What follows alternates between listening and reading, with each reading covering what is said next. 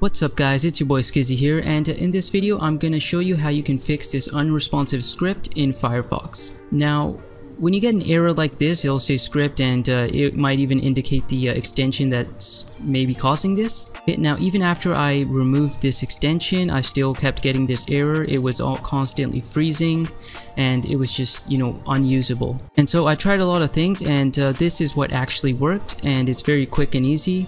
So all you have to do is go to your open up Firefox, click on the four bars, then navigate down to where the question mark on the bottom right, then click on troubleshooting information.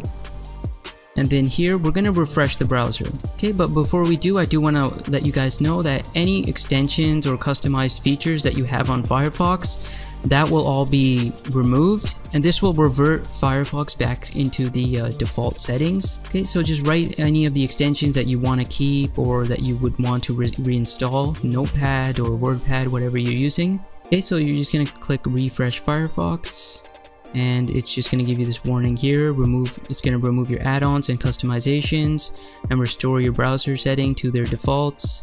I've already done this. So once you click refresh Firefox it's going to close and then reopen. And it's also going to and there might also be a folder that's going to show up on your desktop.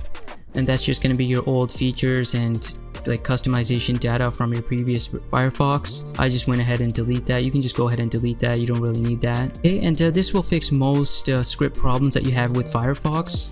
Just resetting it back to the default settings. Alright guys, I hope this uh, video helps you out and uh, helps fix your issue. If it did, I would appreciate it if you can hit that like button and subscribe. Till next time, peace out.